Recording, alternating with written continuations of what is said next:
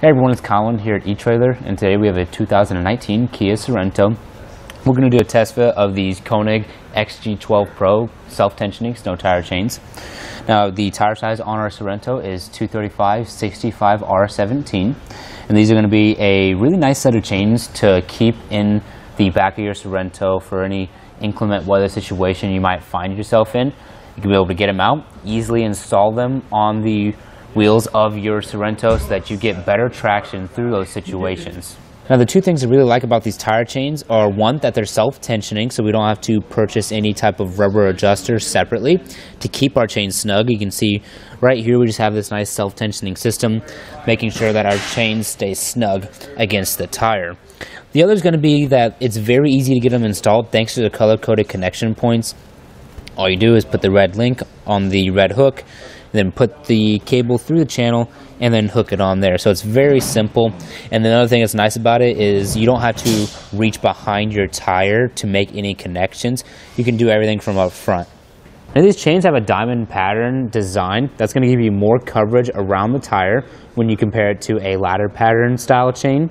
And basically what's going to happen is you're almost constantly going to have a part of your chain making contact with the ground. Whereas a ladder pattern, sometimes it kind of feels like it's going over a lot of little speed bumps.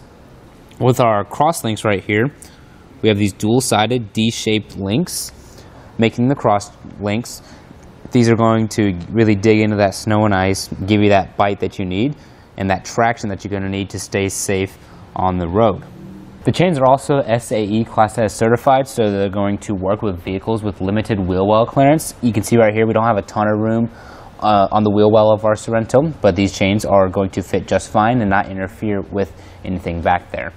The chains do come in a quantity of two, and they come with this nice durable plastic case. makes for very easy storage when they're not in use. Uh, it's pretty low profile, so it'll fit in your trunk or underneath the seat, wherever is convenient for you. And something else I want to point out is that they do have a speed rating of 30 miles per hour. So just make sure you're staying, keeping it slow out there, stay safe on those icy roads. Now, something I always recommend is when you first get your chains, you want to get them out of the box, play with them a little bit, install them a couple times on your Sorento just so you get a really good feel for how they work. That way, if you find yourself in an inclement weather situation, you'll know exactly how to get them on and you won't have to waste any time. Now, I'll walk you through that process right now. The first thing you want to do is lay out your chains and then you want to look them over, make sure there's no kinks or twists in your links, get all those out. And then also if there's any broken links, you want to make sure that you try to fix those first.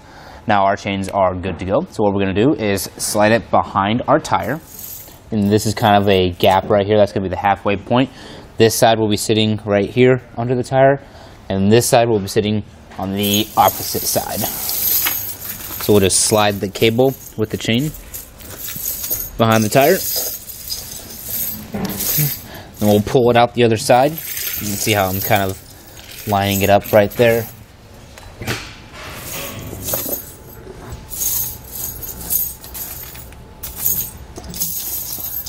Now what we'll do is bring up this cable from both sides behind our tire, connect it like that, and then we'll kind of let that cable sit behind the tire, grab a hold of the chains, and then drape it over the top and sides of the tire.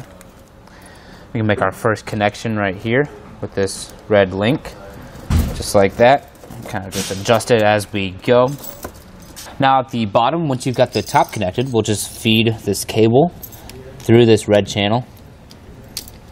And then we're just going to pull up on it. You can hear those clicks. You want to pull up as tight as you can get it. See if we can get one more. There we go. Now from here, we'll just pull down on this hook, connect it like that. You can see our chains are very snug on our tire, so you can go ahead and repeat this process for the other side. Now once you've got both chains installed, it's always a good idea to drive forward a little bit and then stop and get out. and Just make sure you don't need to make any adjustments. But from there, you're going to be ready to hit the road. Well, thank you all for watching, and I hope this information helped you out. But that's going to do it for our test fit of the Konig self-tensioning snow tire chains on our 2019 Kia Sorento.